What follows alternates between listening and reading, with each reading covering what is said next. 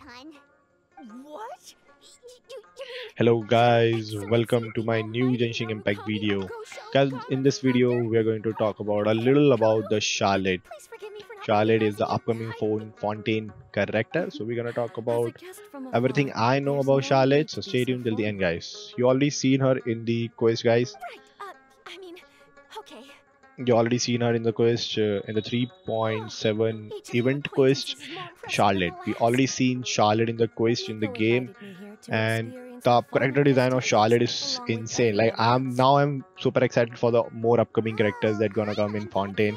And uh, miHoYo already Genshin developers already showed us one character that's a Charlotte. Charlotte's going to be a four star character, a catalyst user, and having a visions of cryo. If you clearly see Charlotte in that quest, in that event quest, you'll see a cryo element on her body cryo cryo vision on on her body. And i think she's gonna be a four star cryo a vision holder with the catalyst as the main weapon. Catalyst going to be the main weapon.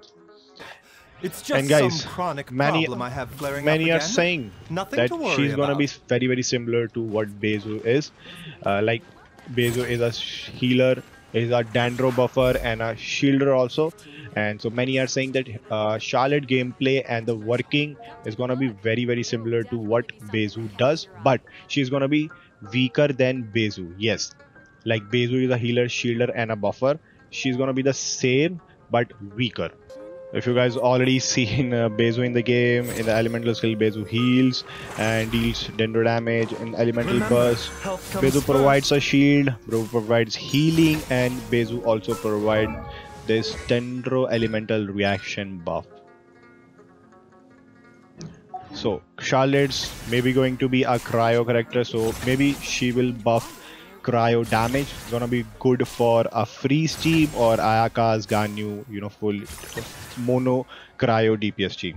Okay, yeah, so that's all I know about the Charlotte, the upcoming test the Fontaine limits, how character that Genshin know where the developers already showed us. These laws are. So thank you guys for watching this video. I hope you like the video. If you do, please hit the like button and subscribe to my channel for more Genshin related videos in the future. We'll meet in the next video guys. Till then, bye bye, take care.